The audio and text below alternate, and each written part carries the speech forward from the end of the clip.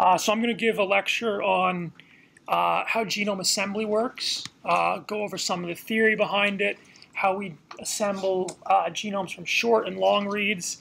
Uh, then we'll have a coffee break, come back, and uh, you'll work through a lab where you'll actually get to assemble a small genome using some PacBio and Illumina data. so there's a lot of different ways of, of presenting sort of a high-level picture of assembly. Here's how I like to think of it. Um, we have a genome. We chop up many copies of the genome into fragments. We then sequence those fragments. And the process of genome assembly is just essentially reversing this sequencing prod process and stitching together the original genome from those reads that we've sampled. Um, people have used different analogies of, you know, putting together a puzzle without being able to know what the puzzle actually looks like or cutting up a bunch of newspapers. One that I'll use is, let's say I grabbed all the binders off your desks with the course materials. I take them to the paper shredder, shred it up into pieces, dump it on the floor, and say reconstruct the pages uh, that's in this binder. You'd be quite mad at me, but you'd get a better uh, understanding of what an assembly is. Now the key things here are that if we, uh, if I shred that into really tiny pieces, you'd have a lot of leftover white pieces that give you no information of how they go together.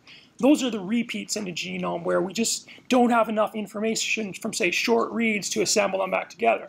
Conversely, if I chopped it up into very large fragments, just each page into three or four pieces, you'd have a lot of information to stick those pages back together and be relatively easy to, to, uh, to assemble.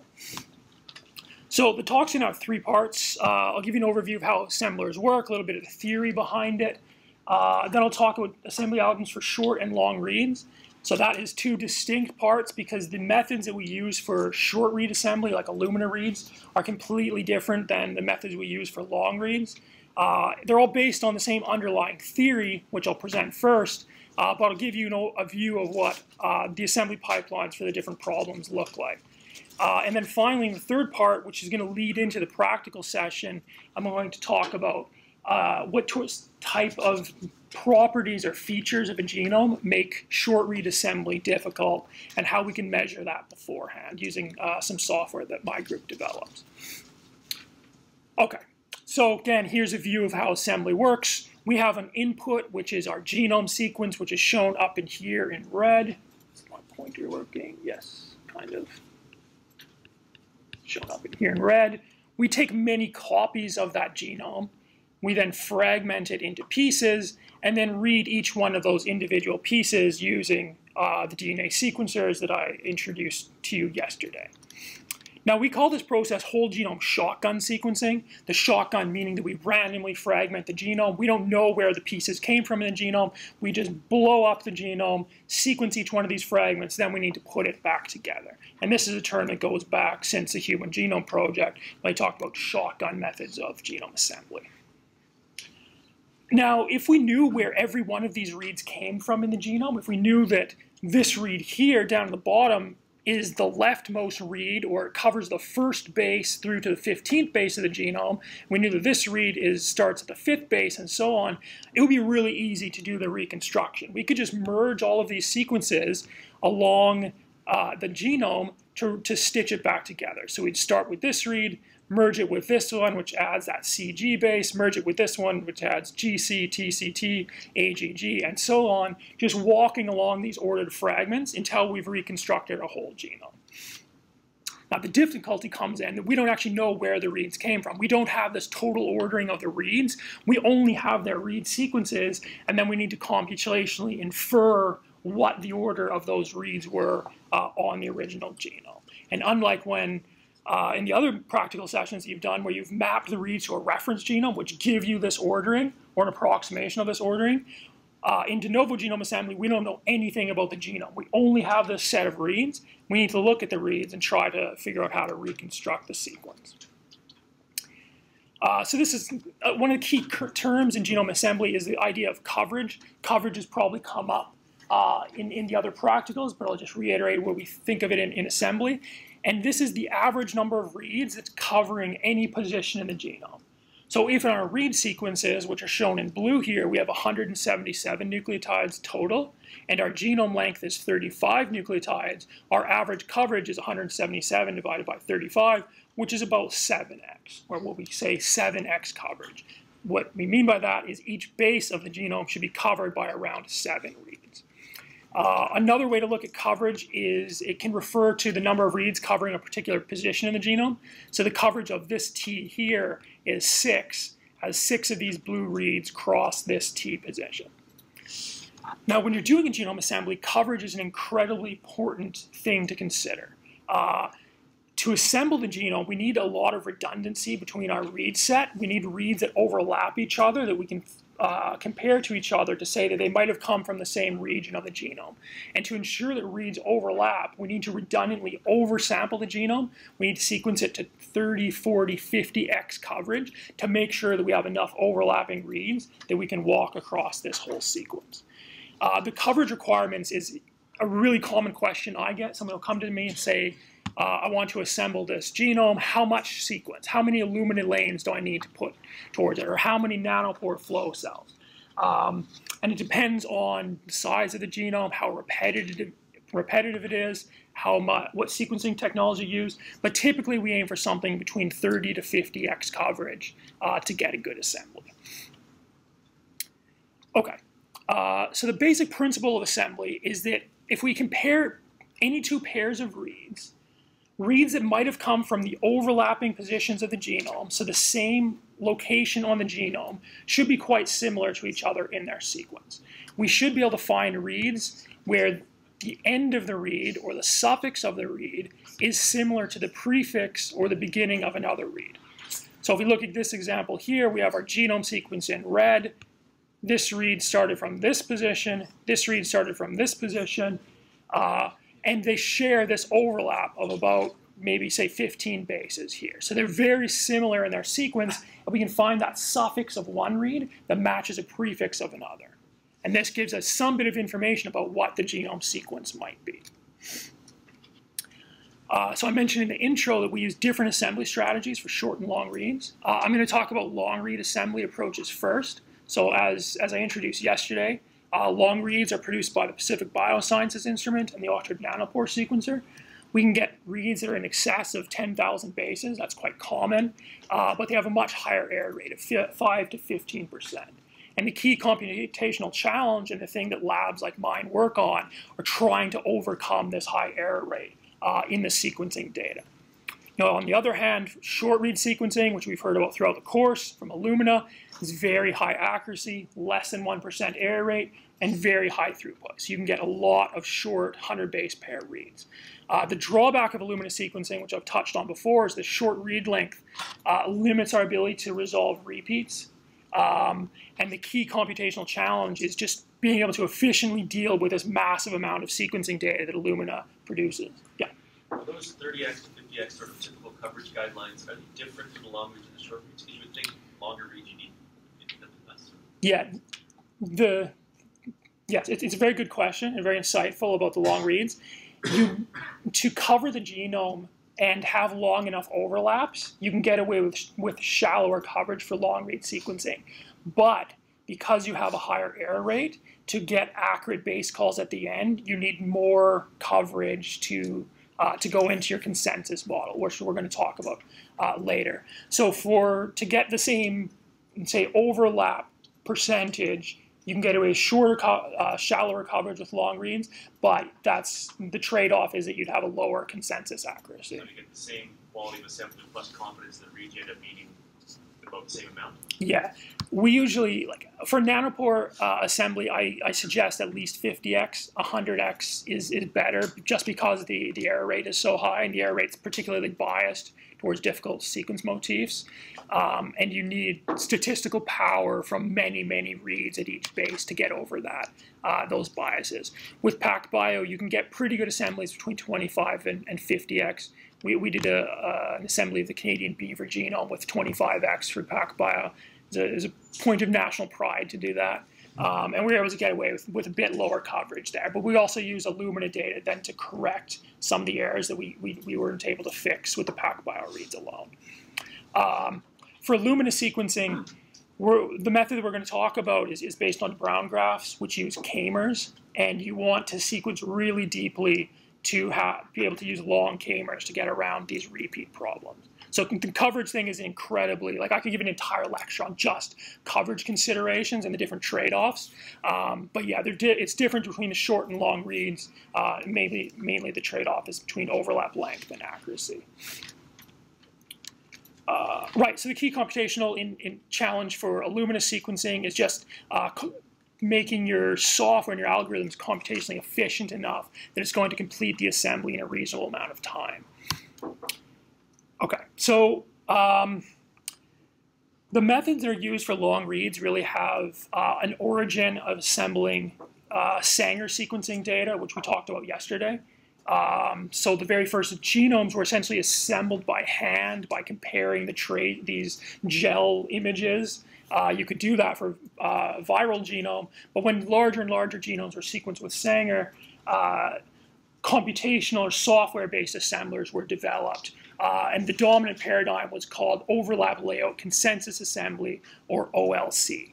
Um, since short read sequencing took over, but now long read sequencing is, is, is becoming popular again, OLC-based assembly has seen a resurgence. And the main assemblers uh, for long reads like PacBio data are all based on this, this idea. Uh, so OLC assemblers uh, take in your sequencing reads as input. They first find overlaps between reads and construct an overlap graph. They then process that overlap graph to compute a layout of the reads, which is this ordering of the reads along the genome. They then calculate a consensus sequence at the end to overcome this high error rate, and then they uh, output contigs uh, as their uh, output. And a contig here is uh, a stretch of the genome that was assembled into uh, one piece. It's short for contiguous sequence. So it's a sequence of reads that had all their sequences merged together into some segment of the genome. So I'm going to talk about each one of these stages uh, in, uh, in turn here.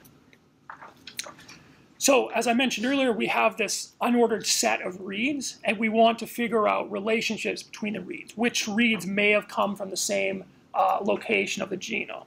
The way that we do this is we take pairs of reads, we use dynamic programming, which is a way of, of performing string comparisons, and we look for significant overlaps between the reads. So the overlap has to be at least a certain length, let's say for a 1,000 base pair uh, PacBio read, the overlap length might have to be 500 bases with few mismatches or insertions and deletions. So here's an example of a small, uh, short pair of reads that overlap with one mismatch in the middle. But you can see there's a lot of, uh, the, the, identity between the two reads is fairly high. Um, so when constructing our overlap graph, we'll create a vertex in the graph, which is depicted by one of these circles for each one of our reads. And when we find one of these significant overlaps between a pair of reads, we connect them up with an edge. Now, for early Sanger sequencing data where we didn't have that many reads, you maybe have a few thousand reads for your sequencing project, uh, you could just take every pair of reads in your sequence collection, compare them to each other, look for an overlap. If they have it, great, put an edge in the graph. Uh, when you assemble human genome-sized uh, data sets with overlap-based methods, there are just too many pairs of reads to exhaustively compare all of them. So groups like mine develop ways of very efficiently screening for the pairs of reads might actually have an overlap. Uh, and the algorithms we use are quite similar to the mapping and alignment algorithms that uh, you heard about earlier uh, in the course. So at the end of this, we, we get an overlap graph. So an overlap graph is just a graph where every read is a vertex. So the, the reads that we had on the previous slide are a vertex in here. So we had one read GCA, TTA, one read ATT, so on. In each one of those is a read, and those are the vertices of the graph. For all of the reads that had a significant overlap, we've connected them up with an edge here. Now it's the assembler's task to find a path or a walk through this graph, just a path that visits each one of these nodes uh, that reconstructs the original genome sequence. Now just looking at this graph, it's, it's a little bit complicated. We couldn't tell exactly what the genome sequence is just by looking at the structure of the graph.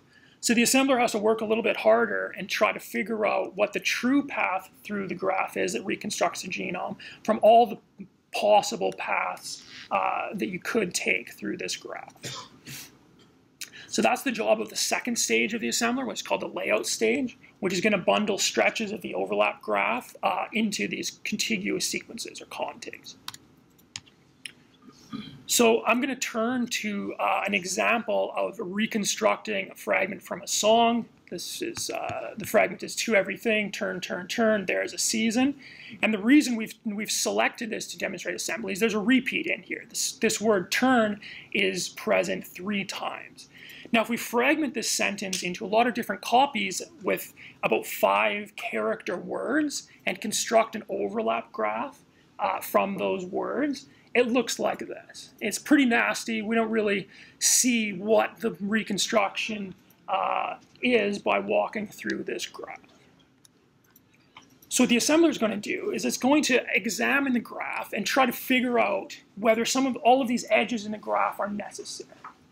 And uh, overlap layout consensus assembly is based on the idea that a lot of these edges in the graph uh, are redundant in that they'll spell the same uh, sentence uh, as another uh, path through the graph.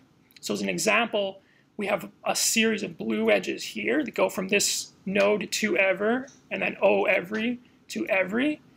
And the sequence spelled by this path is the exact same as this sequence spelled by this path that bypasses this middle vertex. So in assembly language, we say that this edge can be transitively inferred from the other edges, this green one, and therefore its presence in, is redundant in the graph. So what the assembler does is removes all these transitively inferable edges, starting from edges that bypass a single vertex. So edges that have this pattern where it goes from here all the way over and skips some middle vertex are going to be eliminated from the graph. So let's do that now. We get a graph that's much more simple in structure after doing that transitive reduction.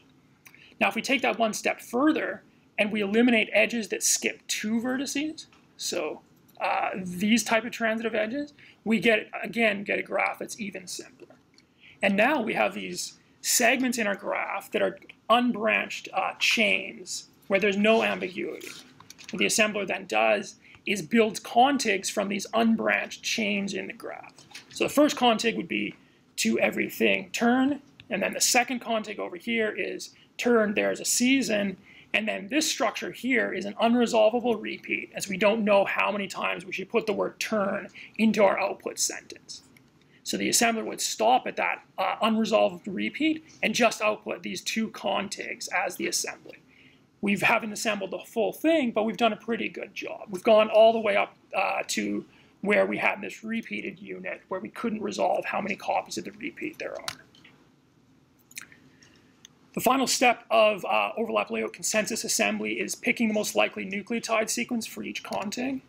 So uh, we're using overlap layout consensus assembly for noisy long reads like PacBio and Oxford Nanopore, and we need to find, we need to develop an algorithm that will uh, eliminate the errors in the sequencing reads. The way that we do that is we make what's called a multiple alignment, where we take every read that makes up one of our contigs and we line up the bases so that uh, the first base of every contig, uh, every read is lined up then the second base of every read lined up, and so on.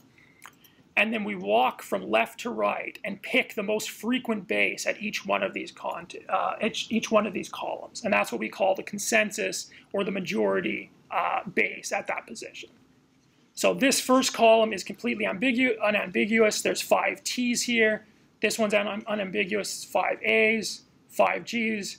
This one, there was a sequencing error where there was a deletion at this read, so we have four A's, one deletion. So the consensus nucleotide here is A.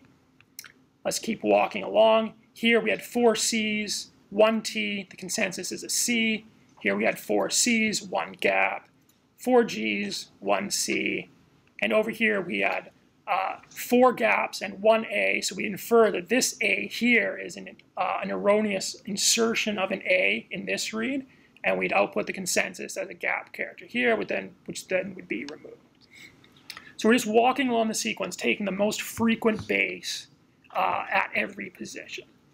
Now this is how old Sanger sequencing uh, consensus algorithms worked. For the very noisy PacBio and Oxford Nanopore data, uh, we use more sophisticated methods, which uh, build generative probabilistic models of the underlying raw data, whether it's being these current traces from Oxford Nanopore data or these uh, light pulses in PacBio data, and then we infer what the true sequence is using these generative probabilistic models, uh, which improve accuracy quite a lot, but are very, very expensive to run. Okay, so overlap layout consensus assembly was developed for Sanger sequencing. When we first got Illumina sequencing, the natural thing to do was take our old OLC assemblers uh, and try to run them on Illumina data. Uh, unfortunately, this profoundly failed because the reads were just too short. The very first Illumina reads, uh, and it was still the Solexa company when, when I uh, got involved, that I saw were about 27 base pairs in length. If you think about trying to calculate an overlap between 27 base pair reads, you're looking at, an overlap of about 18, 19, maybe 20 bases. This is, there's very many repeated 20mers in the human genome, and any of the reads that cross over these 20mers are going to have edges between them, which are just spurious edges between different copies of the repeat. Uh, so if you try to construct an overlap graph of 27 base pair reads for a human genome, you'd have this graph that has billions and billions, probably hundreds of billions of edges, billions of vertices. It wouldn't fit into memory. Your assembler would crash, uh, and, and you'd have a very bad time. So what people developed were methods that were overlap free. They didn't want to have to compute pairwise overlaps between Illumina reads. Uh, so the field settled on a technique which is called uh, de Bruijn graph-based assembly, which uses short k-mers. Uh, prior to building the, the assembly graph, uh, a requirement of doing de Bruijn graph-based assembly is uh, doing error correction on the reads. So rather than tolerating sequencing errors by allowing inexact overlaps, we're going to pre-process the reads first to find where the errors might be and then correct them to the true genomic base. And then that makes our assembly task a lot easier later on. Uh, I'm going to come back to this figure later. Uh, it shows the error rate for six different data sets, um, Illumina data sets, and it's just here to show you what the error profile of Illumina reads looks like uh, where the error rate increases from the 5 prime to the 3 prime end up to around uh, a few percent at the very last base. Now, error correction uh, is one of the major problems with, with uh, short read assembly, and people have worked uh, very hard to develop computationally efficient methods to uh, error correct Illumina reads. Uh, these are all based on counting the number of times k-mers or windows of length k occur across our entire data set. So to walk you through an example, let's consider a read that has a single error. Let's say this C was miscalled by the base caller. Um, the way the error corrector is going to work is it's going to take a k-mer length, let's say 20, count the number of times the first 20-mer in the read occurred across your entire data set, then count the number of times the second, third, fourth, all the way to the last k-mer in your read, and you're going to compare the counts as you go across the length of the read. Now, the k-mers that don't uh, contain sequencing errors, that are true genomic sequence, they should be present in very high copy number, depending on how much sequencing depth you acquired. So if you have 30x sequencing coverage and you have a very low error rate, you should have around 30 k-mers that contain uh, that particular sequence. Uh, now, if you have a sequencing error, the sequencing errors are quite rare, it's going to flip a base in true genomic sequence to something that's never been seen before. So the count, the number of times that k-mer is seen across your entire read set should be very low. It should probably only be one, maybe seen a couple times if it's a recurrent sequencing error. So the idea here is that we can use this k-mer count as a proxy for the number of times these bases are seen across our entire data set, and we're going to switch the ones that are low frequency to sequences that are high frequency to fix errors. So that's said down here. We're going to look for rare k-mers, k-mers that are only seen once or twice across our read, and then flip them to correct them to common k-mers uh, to make our corrections. Now, the benefit of doing it this way is that k-mer-based error correction is incredibly fast and memory efficient. You can error correct uh, an Illumina dataset for human genome in a few hours using uh, one of the state-of-the-art programs like BFC, whereas if you try to calculate overlaps between uh, reads that allowed mismatches, uh, it would take orders of magnitude longer, and it wouldn't be practical practical for very large data sets. Okay, so once we've performed our error correction step, we then want to build this de Bruijn graph uh, and use it to extract contigs. So the de Bruijn graph is also based on k-mers, and the idea here is that we're going to break our reads into shorter fragments of a uniform length, which, would, which is what we call k, and then we're going to construct a graph of the k-mer relationships uh, shown in the reads. So here's an example. We have five reads here. The first one's C, C, G, T, T, A. We're going to take the first four base pair subsequence, which is C, C, G, T, and we're going to put that k-mer into our de Bruijn graph down here. We're then going to take the second k-mer in this read, C, G, T, T. We're going to put it into our graph here. And now because the k-mer CCGT is followed by CGTT in some read, we link them up with an edge. So this is trying to, to get across the same idea of overlap assembly, where the overlaps represent sequences that might have come, been, been adjacent in our original genome. These edges between k-mers are representing k-mers that might be adjacent in our original genome. So if we do this process, so we just keep extracting all this, the k-mers from these reads adding them into uh, the graph as vertices and linking them up by edges, we end up with this graph here. Now this graph uh, is fairly simple in structure, but it does have one branching point. Because of this k-mer, CGTT uh, is repeated in our genome. So it's followed by GTTA at one position and GTTC at another position. Now because this graph's simple, there is a unique reconstruction of the genome where we just walk from here down through this lower branch, back around, visit this ver vertex a second time, and then go up here. And that's the assembly uh, of this little simulation uh, genome. But the nice idea of this, this Bruijn graph-based assembly is that all you're doing is taking k-mers from your reads, these fixed length strings, and linking up adjacent k-mers. So this graph can be constructed in linear time uh, in the size of your input data set, and it can be uh, very efficiently implemented using things like hash tables, um, which is what allowed Illumina sequencing reads to be assembled uh, using this technique. And there's been a tremendous amount of work about building faster and more memory efficient de Bruijn graph-based assemblers, uh, and that's actually what I worked on for my PhD. Right, so after we've constructed our graph, we need to uh, do some post-processing of the graph to get rid of any sort of artifacts that we found uh, in our sequences. So the main artifact are residual sequencing errors that our error correction algorithm wasn't able to remove. So what happens is if we construct a de Bruijn graph, let's say of these three reads, if there's an error at the end of one of the reads, it causes these spurs off the graph where there's some k-mers that are uh, that diverge from the graph but don't really go anywhere. They stop at some position. Uh, so we have a couple k-mers, uh, a couple nodes here from read 2, a couple nodes here from read 3, and we call these tips or spurs off of the graph. Now the reason that they just branch off and don't go anywhere is because the, the errors tend to be random, unique, and at the end of reads. So these, there's no k-mers that contain uh, this A base in the first position of the k-mer, so you don't have these as well-connected things that go back into the graph. They're just these little tips uh, that don't really go anywhere. If you're sequencing a diploid genome and you have heterozygous SNPs, that can cause what we call bubbles in the graph, uh, which are divergences uh, in the structure.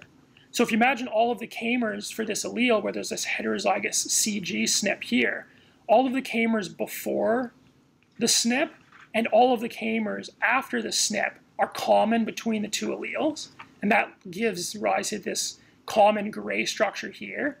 Then the k-mers that cover one of the two alleles diverge, causing this split, where one path represents allele 1, one path represents allele 2, and then they come back together once uh, the, the divergent base has worked its way out of the k-mer back into this common sequence.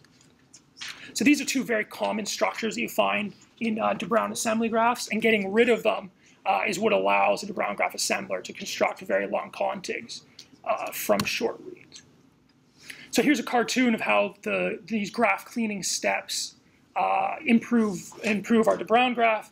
So let's say this is our input graph here. It's quite messy. It's not really clear what the genome sequence is. We'll first make a pass by identifying all of the one uh, side connected vertices in de Bruijn graph. These are nodes that only have an edge in one direction, not coming out.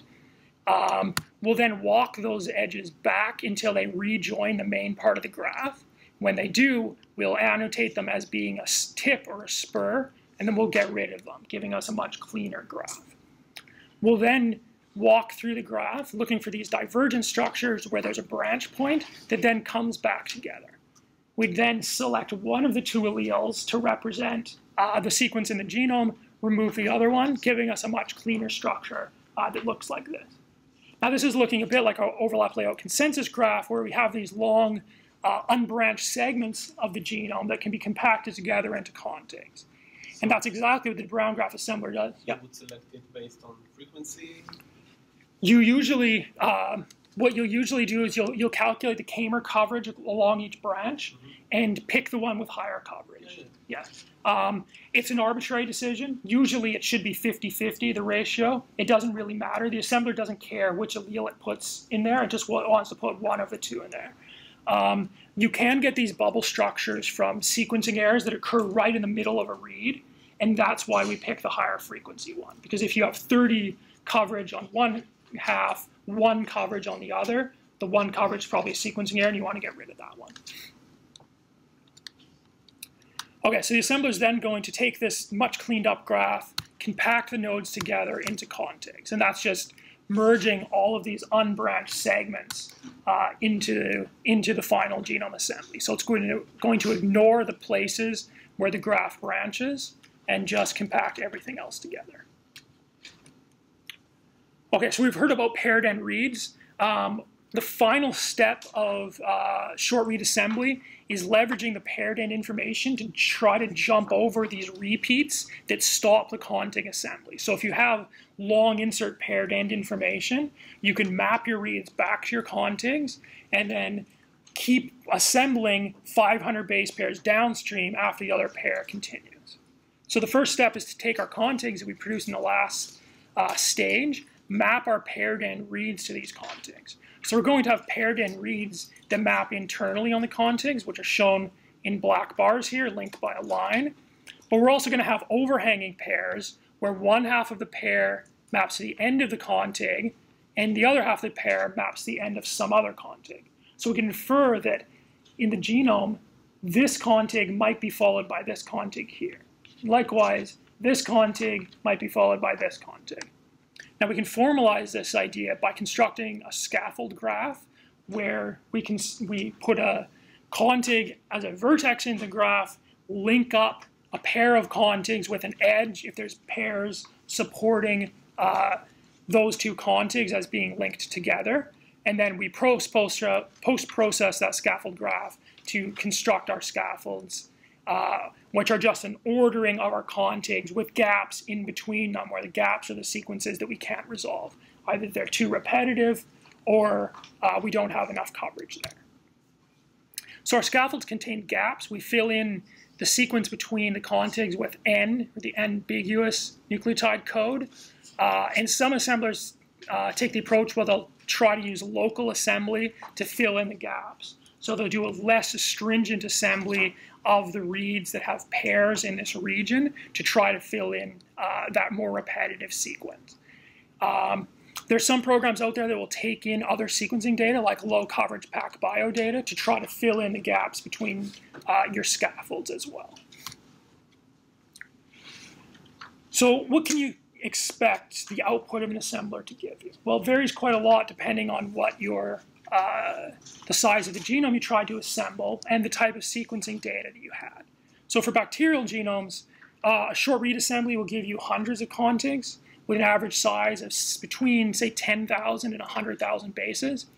With long reads like PacBio or Nanopore, uh, it's typical to have the genome in only a handful of contigs, maybe one to five, with most genomes, I'd say, being able to be completely assembled into uh, one piece. You get a complete genome assembly. For large genomes, uh, with short reads, your contig sizes you can expect to be around 10,000 bases. Uh, for long reads, they'll be around a megabase uh, in size.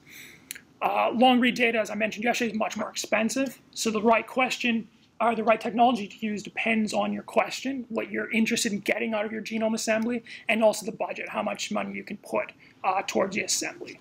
I typically recommend that people use uh, long reads if they're assembling very large genomes. If they want to make a new reference genome of some crop that they're interested in, try to use long reads. It'll give you a much higher quality reference um, if you're able to pay for it. Okay, I'm going to switch gears now. Is there any questions at this point about sort of the theory behind assembly?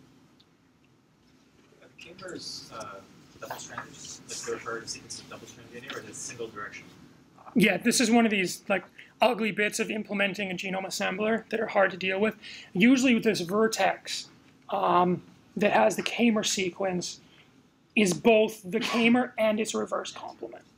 Um, because as, as, you, as you know by asking this question, like every sequencing read could have come from either strand. So we want to be able to incorporate that information. The other, some assemblers will have slightly different representations. Well, they'll have sort of these mirrored graphs where there's uh, one set of K-MERs for one orientation, one set of K-MERs for the other, but that gets pretty complicated to implement. So usually assemblers will just represent them both in the same vertex.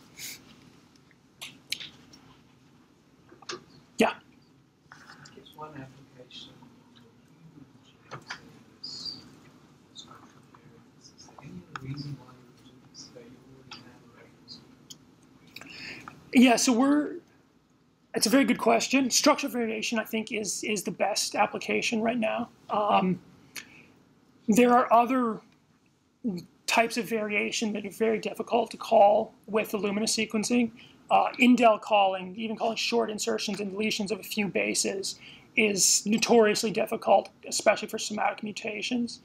Um, there's a lot of, if you sequence a genome, let's say my genome, and you compared it to the reference genome, you'd find something like five megabases of sequence that's not present in the reference at all. Obviously, if you're not doing de novo assembly, you have no information of the function of that sequence. So it's a combination of structural variation, short insertions and deletions, and novel sequence that gives you the benefit of, of assembly for human genomes.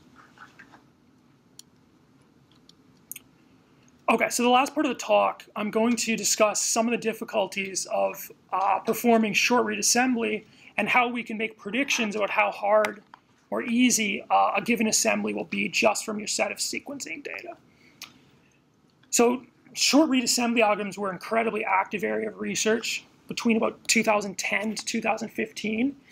Um, and there are a lot of community projects to benchmark how well short read assembly uh, software worked. And one of them was called the Assemblathon and Assemblathon 2, which sequenced the genome of three uh, species. One was a boa constrictor, one was uh, Lake Malawi cichlid, a fish, and one was a parakeet. Um, they didn't know the genomes of these sequences. They released the, the read sets for these three genomes publicly. Everybody who was interested in doing an assembly would download the data, assembled it, submitted it to the organizers, and they benchmarked how well the individual software performed. Uh, my group took part in that, um, along with about probably a dozen other groups uh, around the world. And the results were, were somewhat disconcerting as the, the results were very variable. Um, some assemblers that did very well, say on the snake genome, didn't do very well on the Lake Malawi cichlid. Um, some genomes just performed much, much better for all assemblers than other genomes. So this got me thinking about what makes a given assembly difficult and how can we help you guys, the users, figure out once we've sequenced something, is this going to be an easy genome to assemble or is this going to be a very hard genome to assemble? So I spent about a year working on a program uh, called PreQC, which will take a set of sequencing reads and tell you whether you know, you're in for a hard time during your assembly project. I'm sorry for that. Um, okay, so I sat down, I made a list of what, what features of a genome make assembly difficult. Something I've, I've hammered on about uh, for the last 40 minutes is repetitive sequence. This is an obvious one. Uh, high heterozygosity. If you have a very high rate of heterozygous SNPs and indels of your genome, you're going to have a lot of these bubble structures, which can confuse the assembler. if you didn't sequence enough, maybe you didn't uh, you didn't have an accurate estimate of your genome size and you only have 15x sequencing coverage, this is going to make the assembler's job a lot more difficult. If you have very biased sequencing coverage, um, and by that I mean your sequencing coverage is very poor for low or high GC content sequences, that causes a lot of problems. Classic example um, is the, uh, the parasite that causes malaria, Plasmodium falciparum, which has 80% AT. This is awful for Illumina sequencing. You, it's very, very difficult to get uniform, good coverage of Plasmodium for uh, Illumina, but because it's so important biologically, people really, really want to sequence and assemble it, uh, the genome. So assemblers have to try to account for this, but is one of the factors that makes assembly more difficult. High error rate in your reads, that one's a bit obvious. If you have more, more errors, it's going to be more difficult to, uh, to assemble. If your reads are chimeric, where they contain uh, non-adjacent biological sequence, this confuses the assembler. If you have a lot of sequencing adapters in your reads, if your sequencing center contaminated the sample with something else, or if you simply can't get enough DNA from the organism, so you've taken multiple individuals from the population, you've sequenced them, now you've increased the amount of variation in that sample, uh, that makes the assembler's job a lot more difficult as well. So the way this pre-QC program works is it, it's going to look at the structure of the assembly graph and try to label each one of the branches it's seen with the cause of that branch, whether it's caused by a sequencing error, whether it's caused by a heterozygous SNP, or whether it's caused by uh, a repeat. And the way that it's going to do that is it's going to go back to these methods that we talked about for error correction, where it's going to look at how many times each one of these k-mers occurs across our sequencing data set. Now, the first output of this program, and you're going to have a look at these reports in the lab practical coming up next, is uh, a histogram of the k-mer, in this case 51 mer count distribution. Now this is an extremely clean example, and this is what we hope to see when we run a genome assembly. We have this nice peak around uh, k-mer count of 30, which is roughly corresponding to 30x coverage. We have a peak over here of k-mers that are only seen a single time. These are k-mers that contain uh, sequencing errors. And you see there's a little shoulder here, which are k-mers that are half the coverage of the main peak, which are k-mers that cover heterozygous SNPs, those ones that cause bubbles in the graph. Now, if we look at this, I'm immediately horrified when I look at this, as it's a bimodal distribution. Now, the reason it's bimodal, this is from an oyster genome, is that the heterozygous SNP rate in this oyster is roughly about 1%. There's a SNP every 100 bases. So what happens is you get this huge peak of k-mers at half coverage, which correspond to k-mers covering heterozygous SNPs. These are homozygous k-mers, these are heterozygous k-mers. Now, no assembler, okay, very few assemblers are designed to deal with this level of heterozygosity.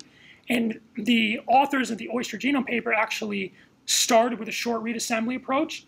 They saw that this was a heterozygosity and they gave up and used long reads instead. So if you see something like this, it, it's going to be a very difficult genome assembly.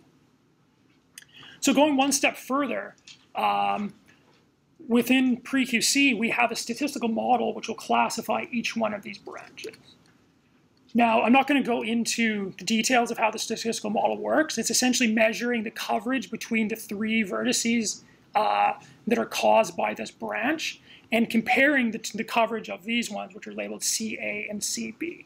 So the idea here is that if it's a sequencing error, we expect one of the branches to have much better coverage than the other. If it's a heterozygous SNP, we expect the branches to have roughly balanced coverage. If it's a sequencing repeat, we expect the branches um, to have coverage which is corresponding to their copy number in the genome. So the output of this that the user can see is a prediction of how often the graph branches due to heterozygous SNPs. And this is the, the uh, plot I'm, I'm, showing here. Now this oyster genome that I just uh, told you was horrible to assemble has a heterozygous SNP branch prediction of about 1 in 100, which matches what we know. The human genome is about 1 in a 1,000, shown in blue here. A negative control here is a haploid yeast genome, which has a heterozygous branch rate of about one in I think 30,000 bases, which is the the um, false positive prediction rate of this approach. Um, so these are the, the, the different assemblathon genomes are listed here. This is the cichlid, the fish in green, the boa constrictor in red, the parakeet in purple, and their difficulty of assembly roughly corresponds to heterozygosity, uh, shown here. Now we can also predict how often branches occur in the assembly graph due to repeats. This largely tracks our expectation of which assembly, uh, which genomes are going to be most difficult to assemble. The human genome, which is known to be very repetitive, is up here with the highest repeat-induced branch rate with the oyster genome. The yeast genome, which is very small and easy to assemble, uh, is shown down here. So by plotting where your genome lies on the spectrum from hard to assemble to easy to assemble, it gives you some idea of, of what kind of assembly you're looking at. Uh, this program will also predict the size of the genome, so it'll just take your sequencing read, calculate coverage statistics based on these k-mers, and then make a prediction of what the size of the genome is. So if you want to check that matches uh, what the lab told you, you can. Um, it'll also do more basic quality control, like looking at the mean quality score of each read across uh, the sequencing read. So again, looking at these same six data sets here, we see that the snake genome, the boa constrictor, which was actually sequenced by Illumina, uh, has the highest quality data across the whole read, where the, uh, the Lake Malawi cichlid is the lowest quality data set here. You see a fairly steep drop off of the quality scores towards the 3' prime end of the read. Um, I showed you this image earlier, which is a per position error rate. Uh, this program will estimate where the errors in your sequencing reads are and plot the error rate as a function of the read length, again giving you an indication uh, of how clean your data is.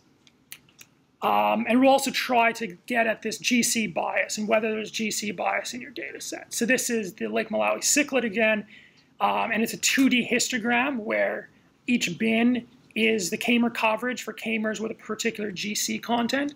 And we see that this is a fairly clean data set where there's not a strong dependency between k-mer coverage and GC content. If we look at a yeast data set instead, we see there's a bit of a dependency between uh, GC content and k-mer coverage, with these higher GC k-mers having uh, somewhat lower coverage. Uh, the oyster genome, again, we see two peaks here because of this heterozygosity versus homozygosity k-mer problem. Um, the program will also infer the fragment size histogram, just like we saw when we could map from to a reference genome, but this just does it by looking at where the pairs link up uh, in your assembly graph, and it'll automatically output uh, this, these histograms for you. And finally, it will actually do a simulated assembly. It doesn't do a full assembly because that would take too long, but it'll simulate a genome assembly process, output the length of the contigs that you'd expect to get for a particular k-mer size, which will tell you uh, directly how easy or how difficult your genome assembly is going to be. So the yeast data set, which I've said is quite easy, you get the longest contigs across a very uh, wide range of k-mers. This oyster data set, which I'm using to demonstrate how difficult things are, you get very short uh, contigs for pretty much all k-mer values.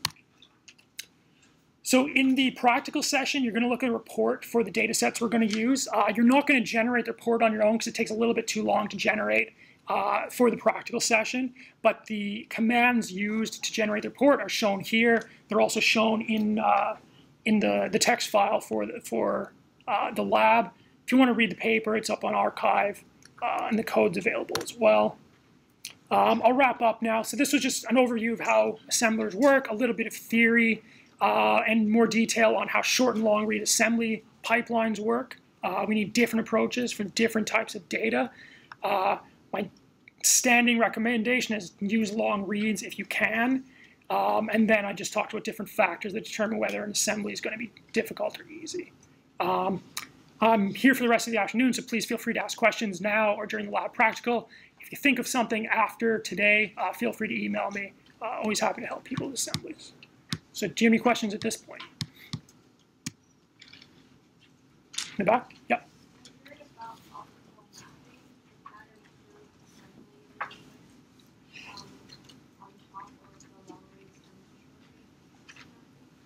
Yeah, that's a good question. Um, so the question was about optical mapping. So this this is a, a, technology where you stretch out very long fragments of DNA, and then you can figure out where little markers are on the DNA. So you can't sequence the entire piece, but you can figure out cer- certain subsequences.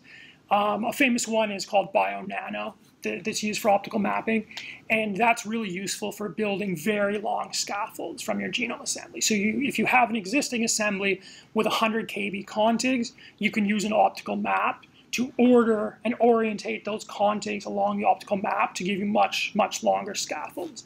This is becoming a really popular way of generating complete and nearly finished chromosome arm level assemblies.